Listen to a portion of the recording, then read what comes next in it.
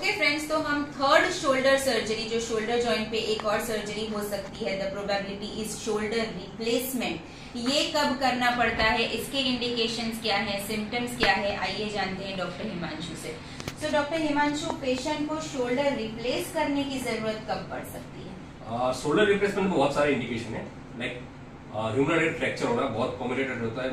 uh, जिस patient में उनके बोन हड्डियाँ बहुत ऑस्टोप्रोटिक रहती है। अगर उनका कंधे का ह्यूमन का फ्रैक्चर होता है तो बहुत वो कॉम्बिनेटेड हो जाता है। हम्म। तो उस कंडीशन में उनका रिप्लेसमेंट की ज़रूरत पड़ती है। हम्म, बेसिकली इन पेशेंट में हम हैवी रिप्लेसमेंट करते हैं नेक बैक में ओके तो उनका आधा ही कंधा बदलते हैं। पूरा बदलने की ज़रूरत नहीं होती। उसमें भी अच्छा। सीमेंटेड और अनसीमेंटेड टाइप होते हम्म। हैं ठीक है? बाकी के जो शोल्डर रिप्लेसमेंट के टाइप्स है उसमें टोटल है और रिवर्स शोल्डर हम्म। टोटल है तो मतलब वो जो गोला है और गद्दी है वो सेम रहती है हम्म, जब रिवर्स है तो उनकी पोजीशन चेंज होता है हो जाती है अच्छा। मतलब कि जो स्पीयर है जो गोला है वो ग्लेनोड साइड आ जाता है और बेस प्लेट है वो ह्यूमरल साइड आ जाता है अच्छा दोनों रिवर्स हो रिवर्स हो जाते हैं। इसीलिए उसको हम रिवर्स शोल्डर रिप्लेसमेंट बोलते हैं हम्म। और रिवर्स शोल्डर वाले पेशेंट में टोटल शोल्डर रिप्लेसमेंट की कंपैरिजन में मूवमेंट अच्छी आती है रिकवरी जल्दी आती है। इसका प्रोग्नोसिस ज़्यादा अच्छा है और इन सब के इंडिकेशन में इंक्लूड होता है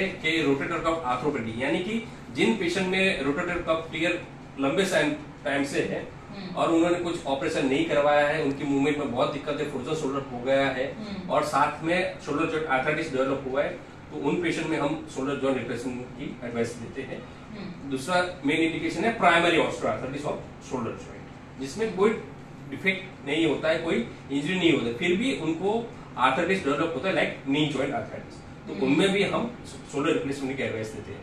तीसरा इंडिकेशन है फेल्ड हेमी आर्थोप्लेस्टी और failed total joint replacement of shoulder ठीक है? तो उन कंडीशन में हम रिवर्स शोल्डर रिप्लेसमेंट की एडवाइस देते हैं। हम्म, तो ये सब इंडिकेशन है ऑफ़ शोल्डर रिप्लेसमेंट ओके तो डॉक्टर शोल्डर रिप्लेसमेंट में क्या इम्प्लांट्स यूज़ होते हैं? शोल्डर ज्वाइंट रिप्लेसमेंट में अ, हम जो भी आप अभी ज्वाइंट यूज़ करें वो इम्पोर्टेंट होते हैं लाइक जिमोबार में हम्म। ठीक है? तो उसमें ह्यूमरल साइड स्टेम आता है रिवर्स शोल्डर यूज़ करते हैं तो उसमें ग्रेनेड साइड स्पीयर आता है गोल आता है और ह्यूमरल साइड उस पर बेस रहता है।